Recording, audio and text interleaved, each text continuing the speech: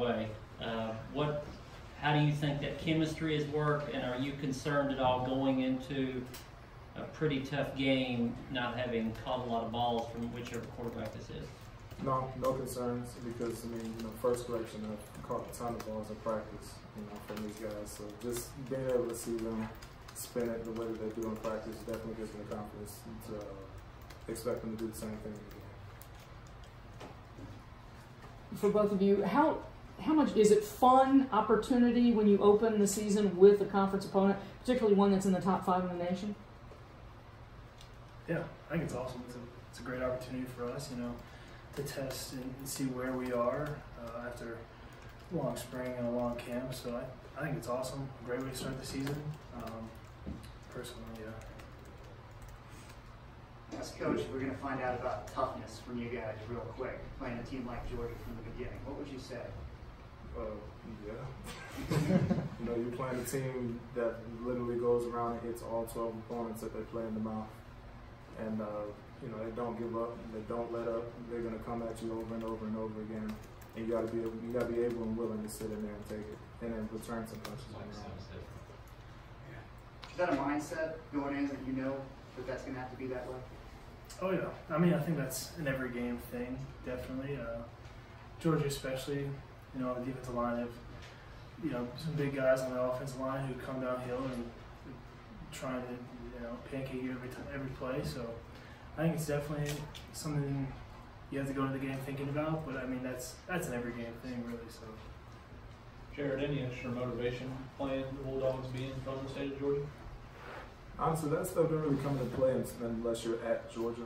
You know, because I mean, I've, I've got a lot of people coming, but it's not like a crazy amount. Like last year, I think I had like 23 tickets, so it doesn't really come into play unless you're in Georgia.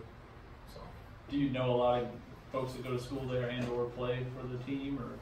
more that to go to the school, but I know Andrew. We played little league together. That's about it. Drew, what what's, what makes Georgia's run game so so effective? What's the key to that? Uh, I would say, you know, the the athleticism and the size of their offensive line is, is, really impressive. Uh, they're able to, to get down, you know, get off the ball, get down on the, the lineman, and then move from there to the second level. Um, so you have to be, you know, really stout in, in where you are on the line, and and um, you know you can't let you can't get knocked out the ball. You have to, you know, really hold your gap and, ma- maintain that, that position. Jared, you're preseason All American, but you're also with some guys that are getting a lot of other preseason mention. Is are you going into the season anticipating that you'll get double coverage, or are you thinking that with a lot of the other guys on the team and the weapons, it's hard for any team to double up on any of you guys? Um, definitely the latter. And I'm, I'm not really expecting anything that they didn't do last year. Just because, I mean, you, we saw a lot of coverage either shift to Kalija and I'd be open. We saw of coverage shift to me and then Kalija. Kalija's always open, but he'd be more open. And then you saw them try to, like, kind of play us, the both of us, a little bit, and then Keyshawn ripping off the 75 yard line. So, I mean, you just, it's really the boys. Drew, a similar question before. What what makes Jake Fromm so so effective? How's he different than a lot of other quarterbacks?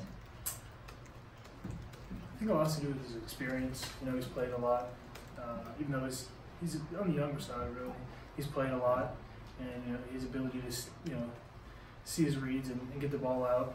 I think it's it's really impressive and something that you see, but not like he's he's pretty elite at it.